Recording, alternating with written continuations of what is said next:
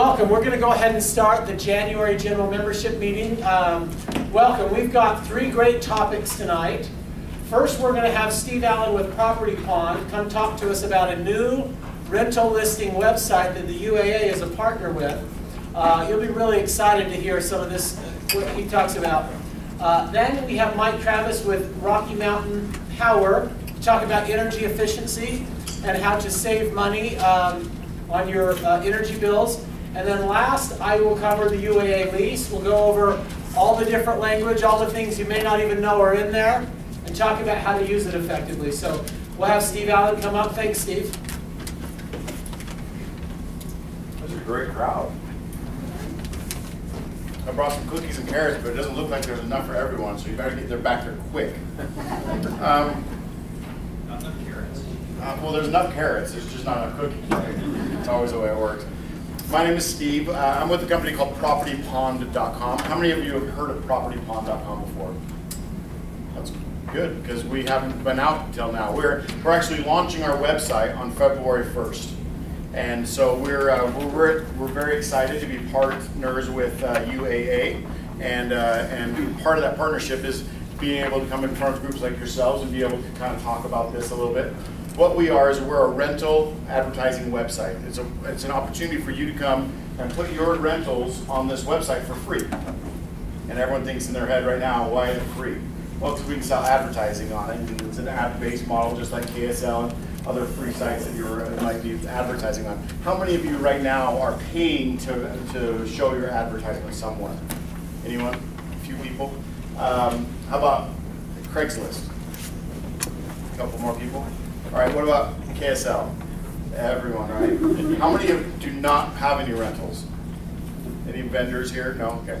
Um, how many people right now actually have uh, properties that are vacant or looking for renters? Great. Okay, this next little part's for you guys. We are having a promotion right now. On February 1st, when we launch, we want to have a lot of properties on there. So we're going to have a contest. We're going to pick one of the people that put their properties on our website and give them lower bowl jazz tickets. So that's kind of an incentive. There's not a lot of people that are putting their rentals on there, so your chances are really good because it's just brand new. We're going to be putting a big campaign around it. But one of the best things we're going to be able to do is we're going to be able to link this website, propertypond.com, with our parent company's website, which is utahrealestate.com. How many are familiar with utahrealestate.com? A few more people. That's the uh, that's the MLS's website. That's where everyone goes. When I say everyone, we get about 250,000 unique visitors per month that go to utahrealestate.com. So we're going to kind of be lending the power of that website and push it over here. We're going to have for sale now, and then there's going to be a for rent tab. And all those people that are going there to look for for sale properties are also going to see a little for rent tab, and they're going to be able to click on that, and it's going to take them to uh, to the Property Pond website. Uh, we're very excited to be able to offer this to you for free. We're going to be working with big complexes, uh, duplexes, you know any size of complex that you have, or if it's just a one little house that you have to rent, we'll do that as well. Uh, how many people are realtors in this room? A few people are realtors. For those of you that are realtors, you don't even have to sign up. You're already signed up through UtahRealEstate.com or the WFR MLS. All you have to do is go in there, use your username and login for the MLS on propertypond.com, and it already has your information on there for you, so you're ready to go. Does If you're not, For loan officers? if you're a loan officer, you shouldn't have access to the MLS, so talk to me afterward. I'll get your name and, no, I'm just kidding. No, if you have, if you have access to the MLS. Now, if you're a loan officer, normally you don't have access to the MLS unless you're a licensed agent. Uh, But if you don't, let's say you're not a a real estate agent, all you have to do is go in and create a new account, put your name, your number, uh, that kind of stuff, and then you can put your inventory in there. Now, the best part I think about the, the, the new software is that once you put your property in there, it stays in there even after you rent it. It doesn't stay alive on the site, but it stays in your inventory. So that way, when it goes up for rent again, maybe in a year or two, you just click a button, bam, it's back up. Another uh, nice thing about the website is it has unlimited photos, so you're not limited to just four photos anymore. You can put as many photos as you want. Very soon we'll have a virtual tour capability so that you can be able to do much more than just a photo. In addition to that, we have community. How many of you are, have a community that you're a part of? Nobody? A couple people. Um, so if you're part of the community, you can put the details of all the community in there, and then you can say, well, I have three two bedrooms and one four bedroom, and you do all that, and then you don't have to list them individually, and you kind of take out inventory and put it back in there whenever you need it. So I, I really like that it's not, also, it's not uh, based on when you placed your ad is where you're gonna show up. So in other words, you don't have to relist and relist and relist every day to be able to be on that first page. This is what the, uh, a parcel-based system. A parcel-based system essentially means that we go off the address. No longer is it by random chance that you're going to be up on the first page and how many other people are going to list after you, or that you have to pay somebody or pay another company to relist your properties every day so you can show up on the first page of results. Because after somebody gets to the fourth page of results on some in some websites, they give up because they've already seen so many duplicates, they figure it's just not worth their time. Now, we have a mapping system where they can say, well, I want to live in this area, and guess what? If you're in that area, you're going to show up. Isn't that a little bit better system than just happenstance? So we, we really like this. We think it's a little bit better mousetrap. Uh, but we're counting on you guys to help us fill up the inventory, to be able to get that, uh, because after we put, push all this money to do advertising for it, if we get a lot of people going there and there's not a lot of in, inventory, uh, it's going to be less, less likely they're going to come back. So we really hope that you guys would go out there, check it out. It is free. Uh, we have a little pamphlet on here. There's a phone number on there. Most of you guys have my card. If you guys came in uh, a little bit early, you guys have my card. If not, there's some cards and some more brochures in the back. And I'd love to answer any questions that you might have. Yeah.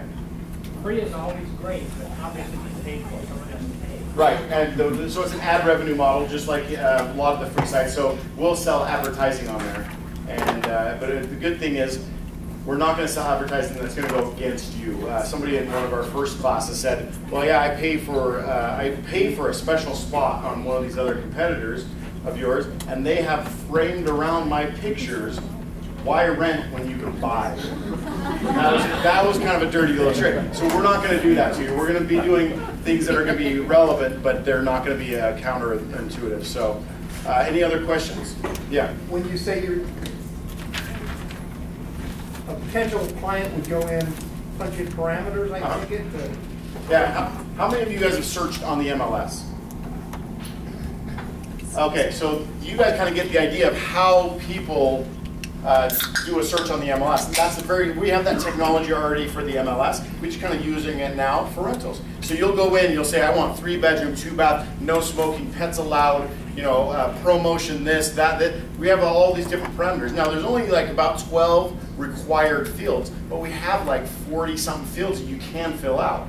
And the more specific you get, you're going to be found in more results that categorize your property and what other people are looking for. So now you can type in a zip code, and they'll find everything in that zip code. You can put a price range in, it'll find those things in a price range. You can put in the number of bedrooms, and the more things you put in there, it's going to narrow it down more. But you can simply go to our map and make a circle and say, I want everything in this area. And it's going to do that for you. So there's a lot of different ways to search. Good question. Yeah. Just a suggestion, if haven't already done this, we've encountered this with one of the other websites. Okay. Um, Search for Salt Lake, say like Salt Lake City. Uh huh. Search for Salt Lake City, brings up some ads. But if you search for Salt Lake, it won't bring up both. Oh, Salt Lake City. So good, good way to do that. What we do to counteract that though is we kind of have a drop down field. So it will, won't let you allow to pick Salt Lake City or Salt Lake. It'll be Salt Lake City. Okay. So that way it it eliminates confusion. Good point. Great. Uh, we do have a little bit of history. We've, we've been going back to 1993 on the MLS, so we have a lot of this stuff worked out. We're just kind of lending that over to the to the rental side now.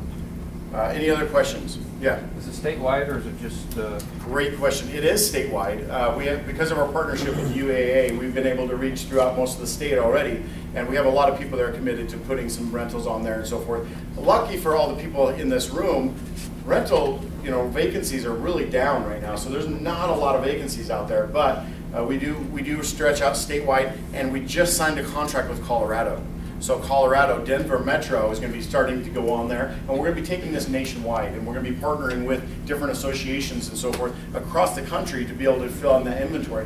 Why is that important? Because now, unlike, a regional uh, really good website, if we become a national really good website, then people from New York or from Denver or from Las Vegas or wherever will now start looking on there for moving to Salt Lake, and then your ads will be found that way as well.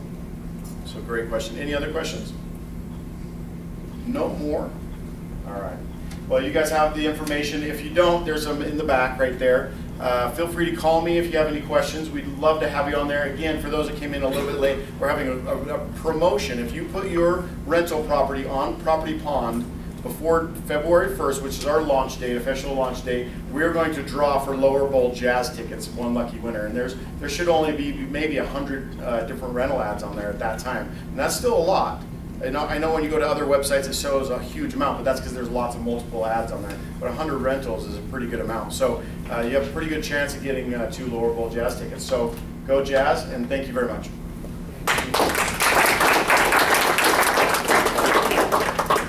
Thanks, Steve. Next, I'm going to have uh, Mike Travis with Rocky Mountain uh, Power come up. And after Mike comes up, if there are those of you that are vendor companies, what I would like to do uh, is have you kind of come up and we're going to give you 20 seconds each to tell us your name, what you do. And uh, as always, we encourage you, the members of the Apartment Association, to support our vendors.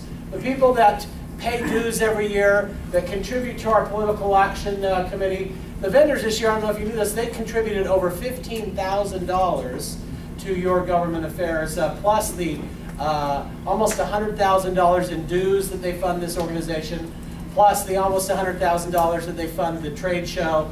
So we really do ask that you uh, give a give first opportunity to the vendors who support the association. So Mike uh, is going to come up, and then after that, those of you that are here, vendors, can take 20 seconds and tell us your name and your company, what you do. Thanks, Mike. How's everybody tonight? Good. Good. All right. Hopefully we'll have a lively crowd. Feel free to ask questions as we go along. Questions are always good because chances are there's five other people, when you ask a question, five other people in the room have the same question because it pertains to them. Just a little bit about me. I've spent the last 20 years in the architecture, engineering, and construction industry. Um, spent a lot of time uh, on the architectural engineering side in a capacity for, if you're familiar with the LEED program, energy efficiency and design. Um, I was approached by Rocky Mountain Power because I was going out and visiting with, with builders and developers and teaching them about energy efficient buildings. And Rocky Mountain approached me and asked me to come on board to do this, the same thing that I was doing, uh, only do it for them and teach energy efficiency for the, for the company. So that's just a little bit about me. Um, before we start off, how many are actual Rocky Mountain Power customers? Okay. All right, maybe I should ask how many are not? All right, I have a couple of hands. All right, great. Can I ask where you folks are from? Murray? Murray? Okay, good. Then I have some stuff for you too.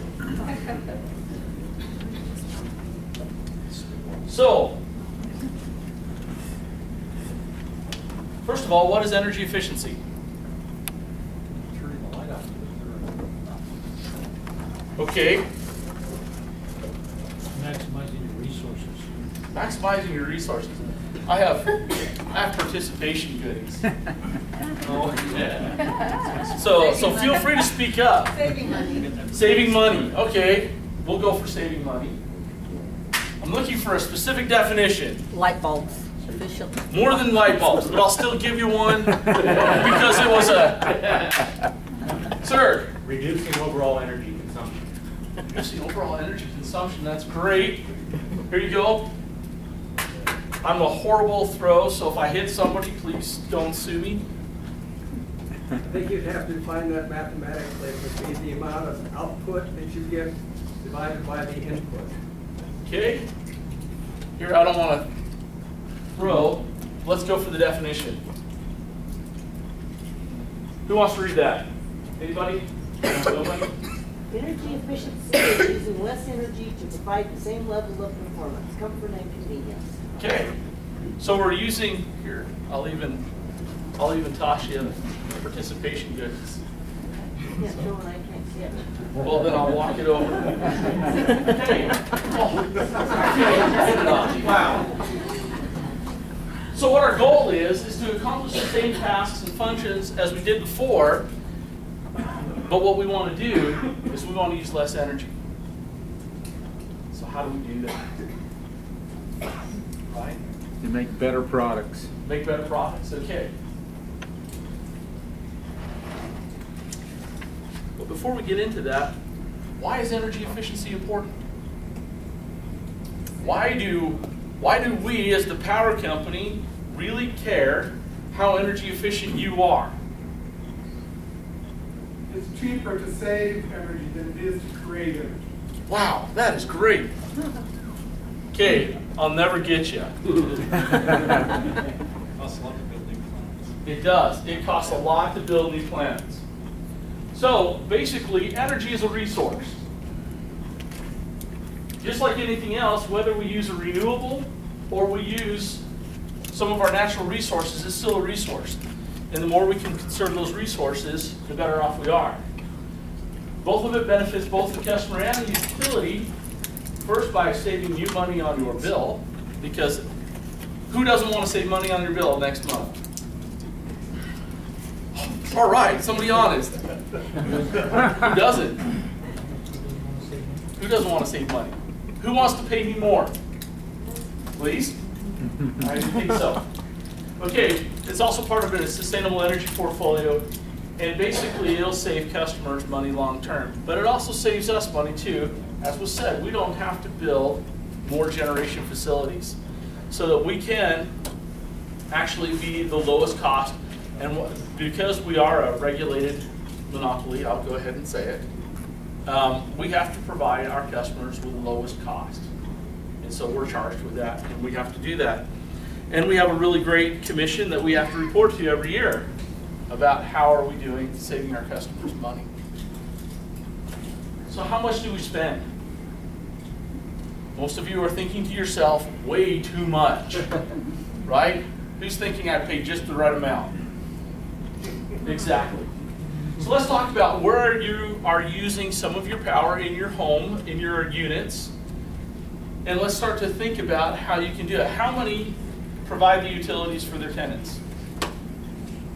Okay, we've got a few. All right, great. So for you, this is probably even more important than, than those who don't. But those of you who don't, how many times have you gotten a phone call from a tenant that says, I am too cold? There's a draft in here. Something's wrong. My furnace doesn't work. And it never comes at lunchtime. When do those phone calls come?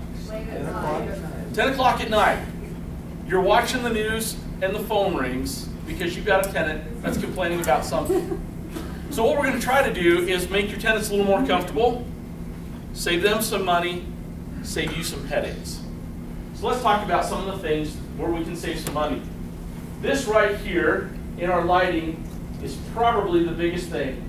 And I need to, uh, I need to address the disclaimer statement at the bottom, okay?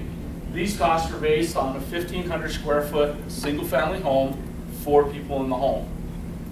So prices may vary by location and all the yada yada, you know, fast talking stuff that you get on those ads. So here we are, and we look at this. How many of you have incandescent light bulbs in your units? Quite a few of you. How many have just total compact fluorescents or CFLs? They start out that way. They start out that way? Okay. All right, the average, be, just habits, okay, we, we figure that between four, three to four hours a day is when the light bulbs are on. Okay? With that, an incandescent light, $9.35 per month is what you're paying in your bill. Switching over to compact fluorescents, $2.84. There's a significance, a huge difference in, in cost. The other one right here is in your refrigerator. Your refrigerator runs 24 hours a day, seven days a week, 365 days a year, and the meter just goes ka-ching, ka-ching, ka-ching, ka-ching. How many of you have appliances that you provide with your units? How many of you have appliances that are older than 10 years? Okay. Have we got programs for you? The average refrigerator right here, fourteen dollars and six cents per month. An Energy Star refrigerator, six dollars and twenty-eight cents per month. So we're gonna talk about these tonight. So by now, you're probably thinking, okay, great, energy efficiency is wonderful, but where do I start? What's the best thing to do? Where am I gonna get the most bang for my buck? Okay, there's a couple of things you can do. First, we're gonna start out with some programmable thermostats. And I'll explain that as we go on. The next, we're gonna look at some energy efficient light bulbs. Then we're gonna talk about some Energy Star appliances. This last one, how many people have or manage units that have community facilities? Anyone? You do? Okay. I'll, I'll briefly go over this just because it probably doesn't pertain to most anybody else. Whoops. There we go. Occupancy sensors. Those are for if you have common areas that you want lights to go out, that when people are walking around, they can see, but when they're not, it automatically turns off. So, let's start with programmable thermostats. According to the U.S. Department of Energy, 45% of your utility bill is right here in air conditioning and heating. Okay? So the best and easiest way to first start with energy efficiency is by adjusting your thermostats. How many of you have programmable thermostats in your units? Great. For the rest of you, I highly recommend it. You can get some that you can lock your tenants out of, and you can set where they want until they whine at 10 o'clock at night, then you can negotiate. Paul will get into tonight later on about contracts and what you can negotiate for and how much you charge. Here you go. You can put that as one of your line items, so yes. But the average savings is 2% for every one degree.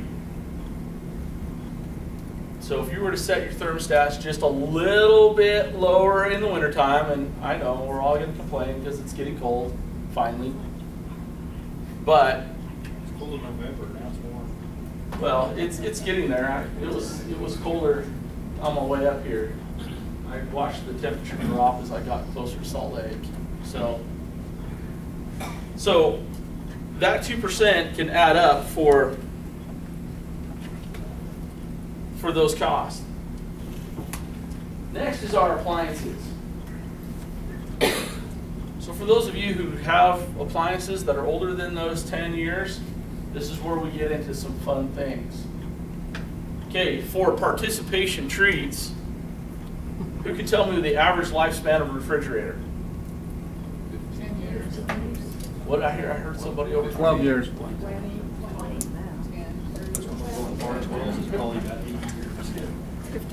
We're getting close, but nobody's, I I haven't heard anybody say it yet. Fifteen. Fifteen. Or what, what was that? I heard- Who said 14? Raise their hand. All right. 14 years on an average refrigerator. Whoops. Here you go.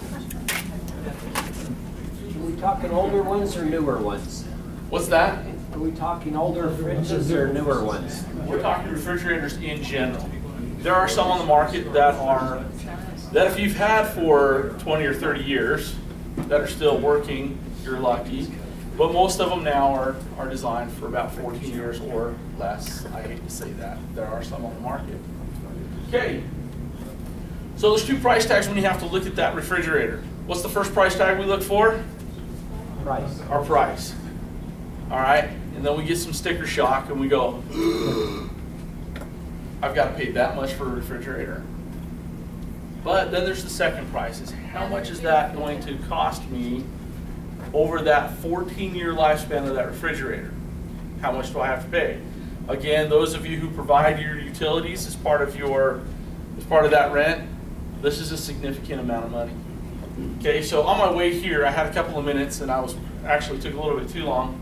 I decided since I passed them all, I ran into Sears tonight to take a look at a couple of refrigerators. And so Luckily, I found two refrigerators right next to each other, and I looked at the price tag for both. One was a non-Energy Star rated refrigerator, the other one was an Energy Star. What do you think the price difference was? Double. Double? Not even close.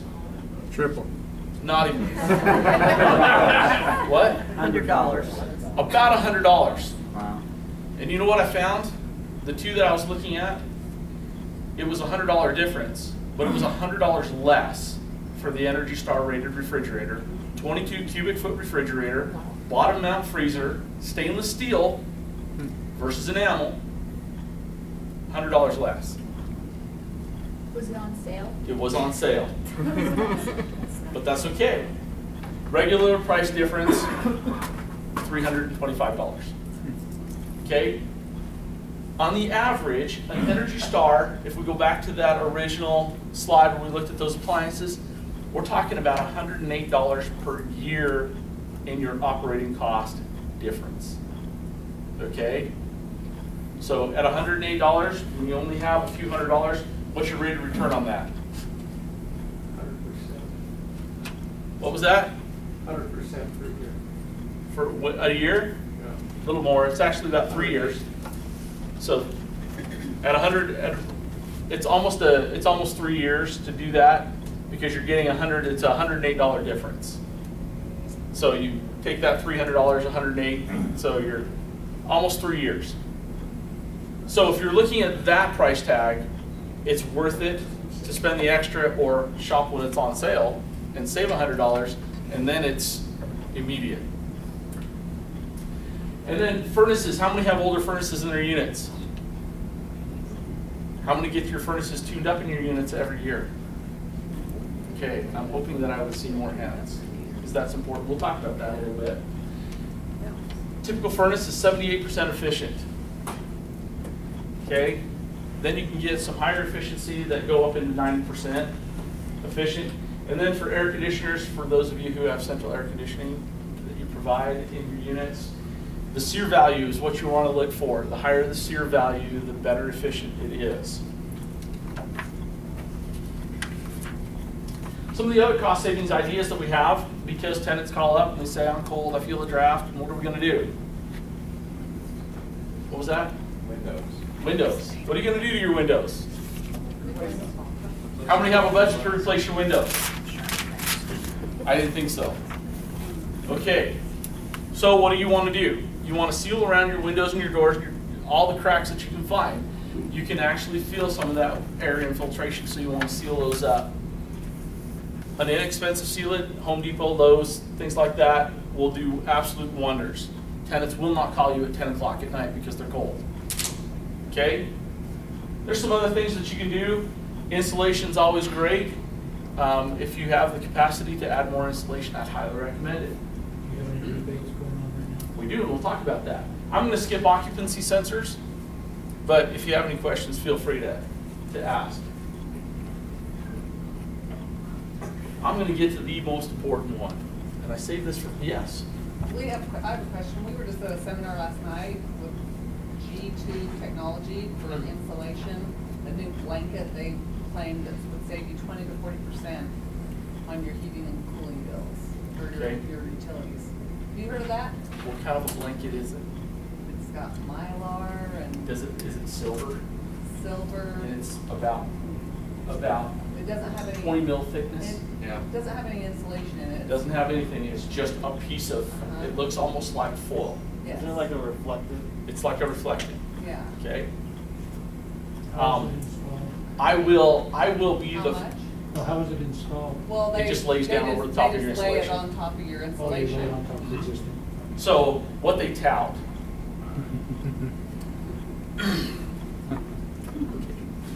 Let's see, am I on camera? I can actually say this because I actually did an experiment with that product. I actually have it in my own home. For those of you who are contemplating that particular product, I will tell you, it does not work. So, do not be caught up in the hype. Really?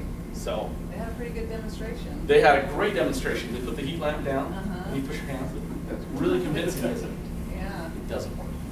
really. Yep. And I can speak, and I can do that from experience because I actually have that in my own home. And so I, I went through and we did some calculations trying to figure everything out. And I was like, okay, it's not gonna cost me that much to do this. So I actually went ahead and spent the money and zero. There was no cost benefit for it. Your bills didn't go down half or anything. No. Tell me on your money back. What's that? Tell me on your money back. Um, they're under a different name now. Really? Like, what is Change the your name Better Business year. Bureau? I checked them out today and I didn't see them in the Better Business Bureau. That's because they're new. And they've changed their name, and they change their name quite frequently for that reason. So, How about the low E glass? Low E glass is absolutely wonderful. So if you're going to put in your glazing, low E is absolutely wonderful, great. It is a great cost savings to do it. There is, it, it's not snake oil for that one. That one's, that one's totally true. So go for that.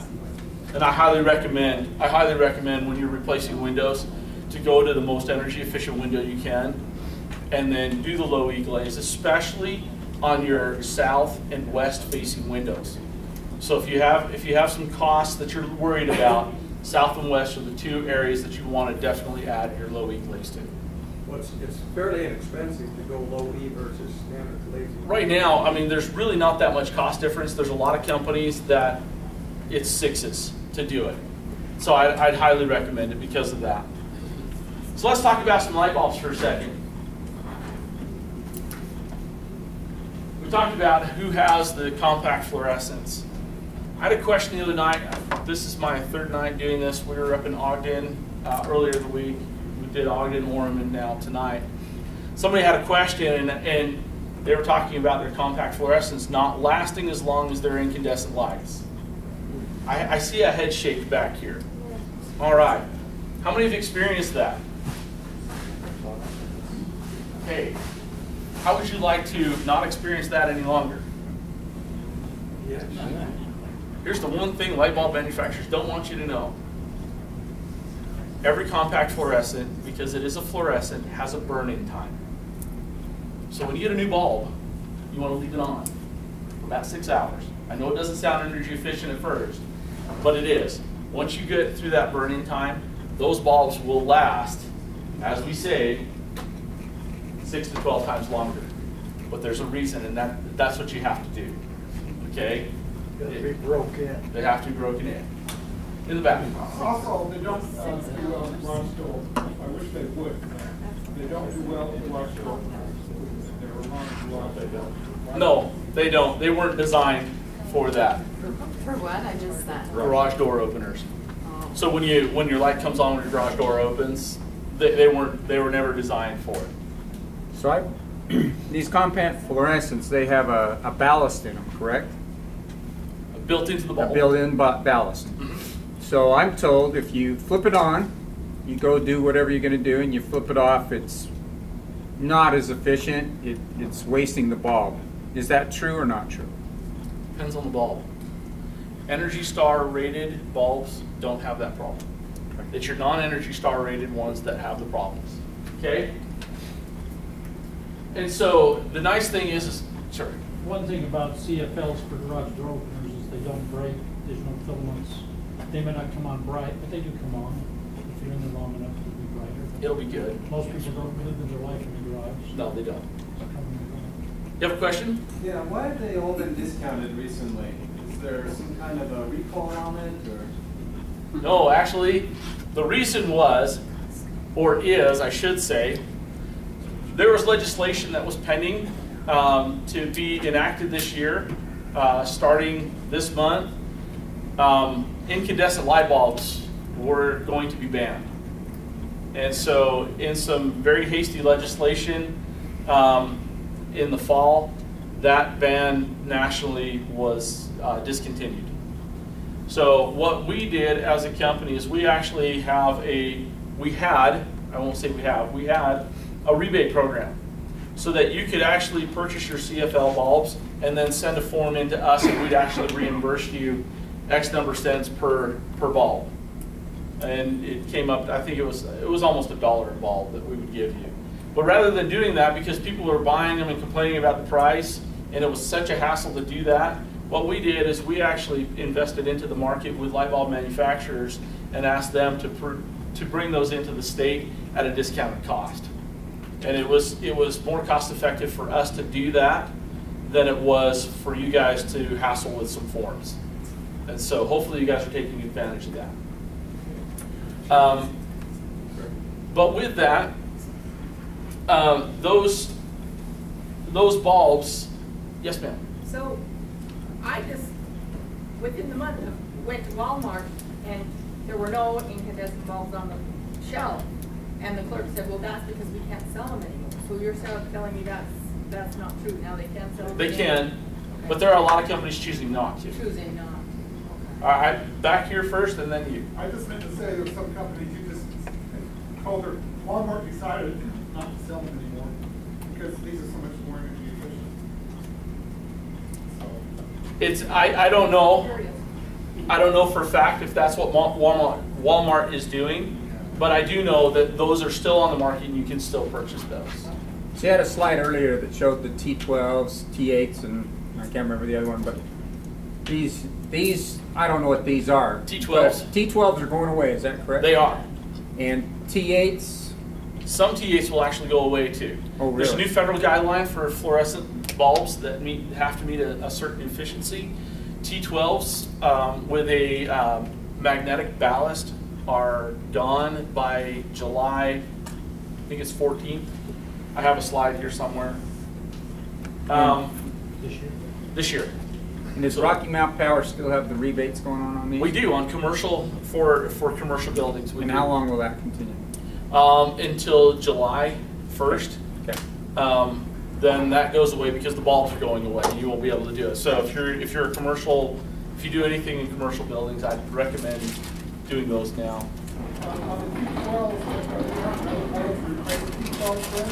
T8s and T5s. Will they fit the T12 socket? There's a retrofit kit that you can get I see. that will go into an existing T12 fixture, so you don't have to pull the whole thing out. So you can do that. So here's that phase out, July 14th of this year. And so there will be a few that are on that market. I put that slide in here because of those who may or may not have community centers that have So those. the purchase of these T12s, this? What's that? That? No, these are these are like bulbs that go in, in here In the commercials, in the commercial. which I have. So to get that rebate, where do you get that at, or how does that work? Go to wattsmart.com. Wattsmart.com? Mhm. The other night, we had some questions come up about some of our incentives. And so these are some, this is some of our residential incentive programs. There are some caveats to a few of these, so you do have to look it up. Again, you can go to wattsmart.com or rockymountainpower.net. We'll get you to the same place, um, but more people can remember wattsmart.com easier. So, um, so that gives you an idea of some of the uh, some of the rebate programs that we have. For those of you not Rocky Mountain Power customers, those rebates are available for you as well. It's through UAMPS, and that's the uh, yeah, forget it if I can remember what that is, but it's the Utah Association of Municipal Power Suppliers or something like that.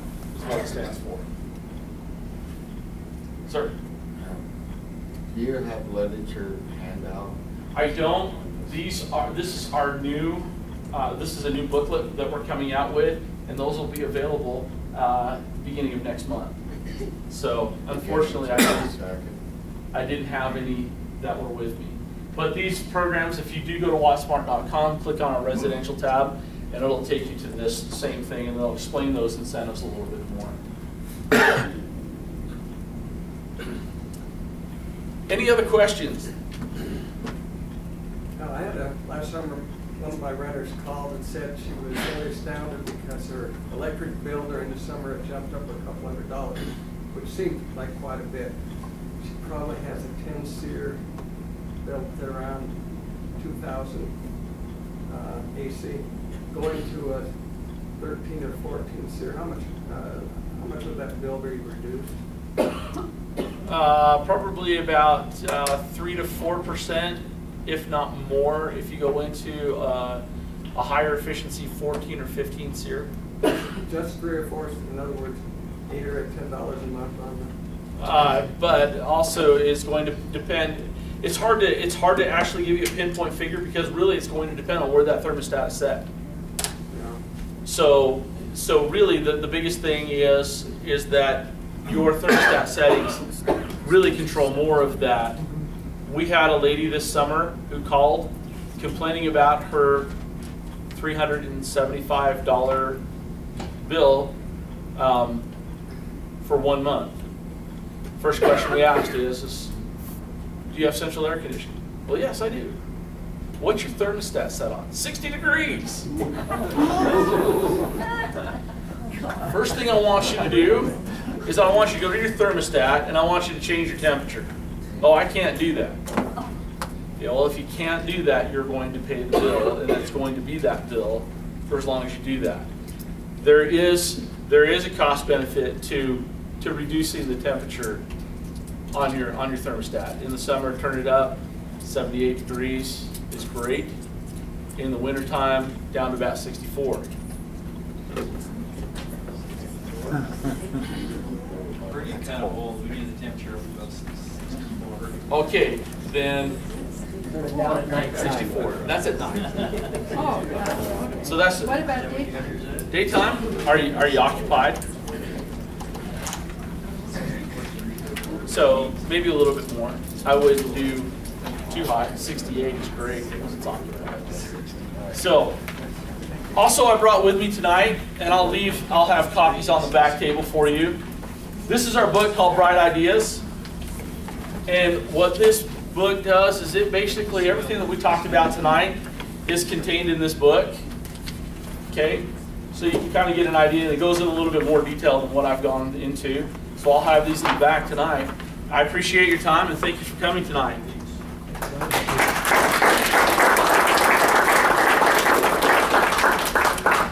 Thanks, Mike. Okay, this is where we have the vendors come up, so come on up. Uh, uh, Jeremy, you want to start us off? And 15, 20 seconds, thank you.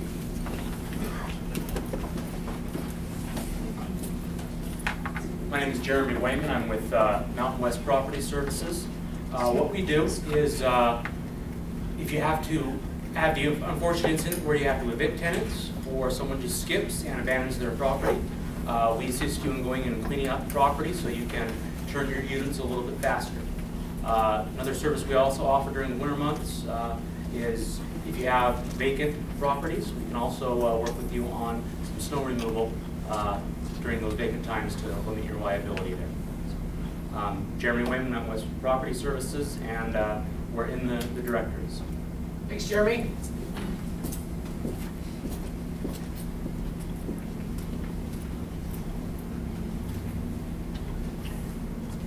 Hello, I'm Bob Taylor. I'm with Orkin Pest Control Services.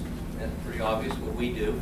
We do the general pest control, your ants, spiders, and whatnot, but we also do some special things uh, such as birds, such as bats, and uh, of course bed bugs. So feel free to call on us. Uh, we're in the directory also, and you know I'll come to meetings occasionally. You're always welcome to call on me for free inspections.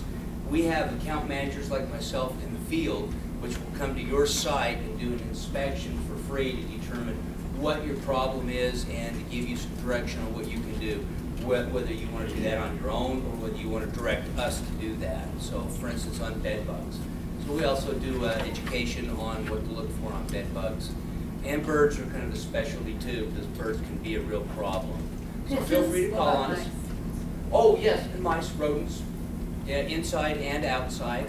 What about pigeons? Pigeons, definitely. Moles, definitely. So feel free to call on us. Okay, thank you. Okay, thank you. Okay.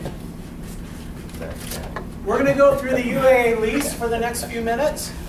And uh, before I start, I want to remind you that every uh, so often we update this lease. Occasionally people tell me, you know, listen, Paul, my tenant moved in five years ago and they're on the same lease that they were on five years ago, is that okay? The answer? No. Why? Laws change. The contract has to change to adapt to new challenges and to new laws.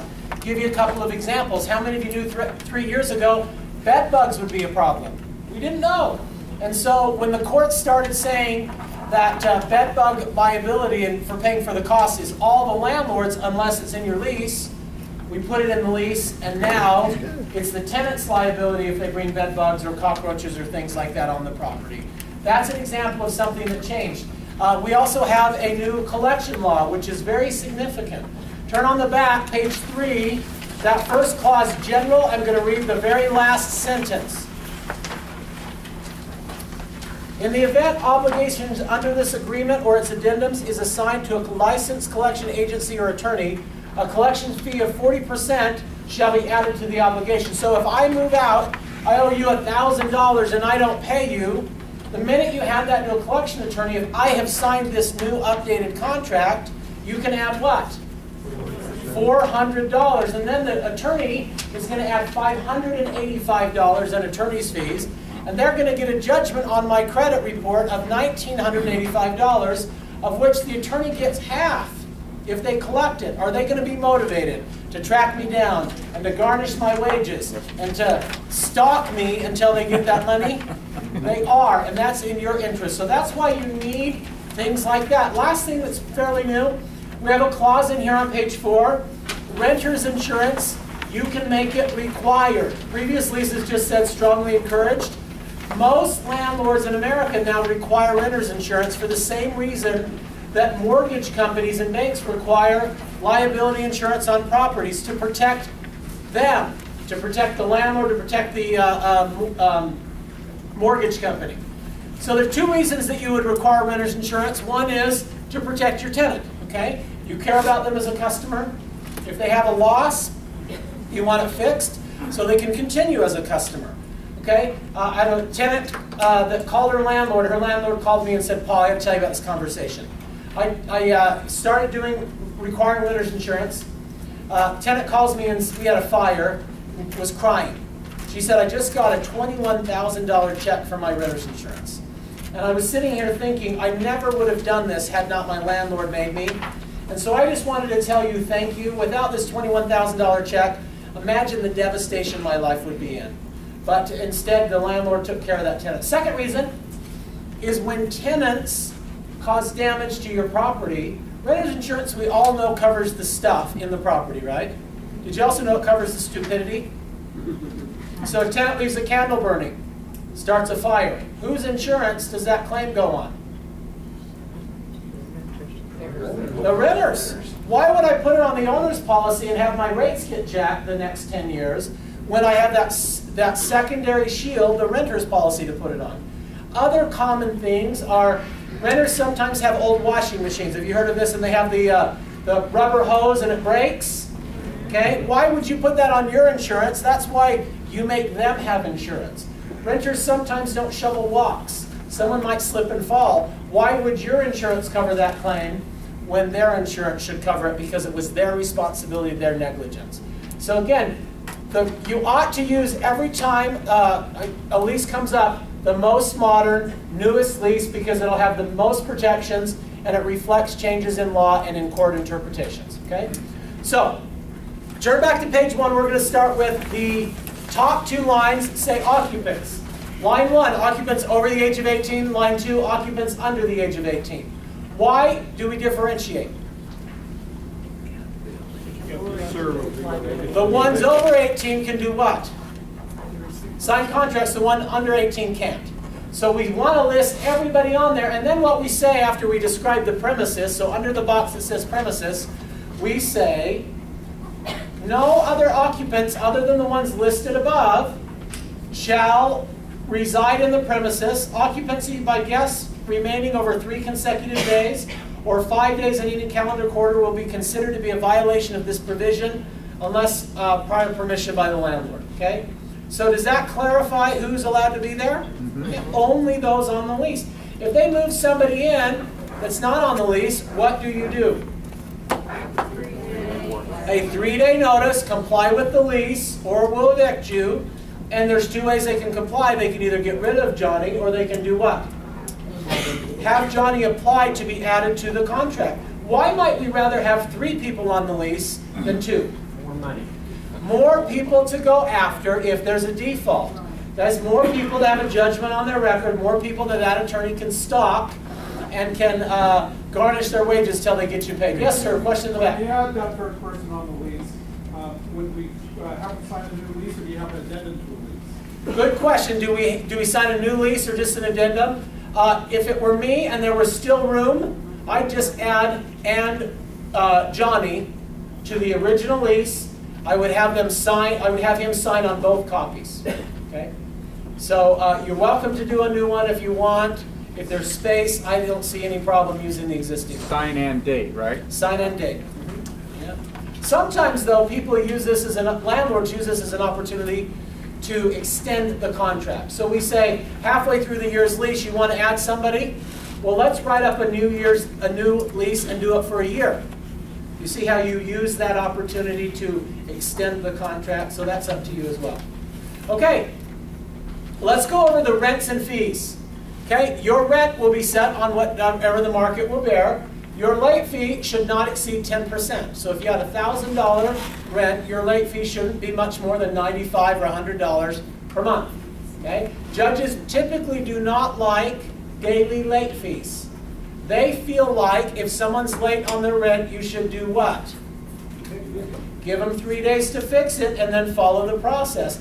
Don't nickel and dime people to death by charging them daily late fees. Does that make sense? Okay. Um, what is a month-to-month fee for? Well, it's to compensate you for the inconvenience of month-to-month or the risk of month-to-month. If I've, if I've got a lease August to August, and your renter decides to go month-to-month and moves out in December, is that risky for you? Yeah, you're going to sit empty a couple of months. So it would be better to renew the lease, and one great way to in incentivize renewing the lease is to say, okay, Sally, your rent's 700, but your month-to-month fee is 150. So if next August you choose to go month to month, you're going to pay me a little bit more for that flexibility. And then before the lease is up, you say, Sally, man, we really need to sign another year's lease, or your rent's going to go up. If you sign another year's lease, we'll keep it at the same amount.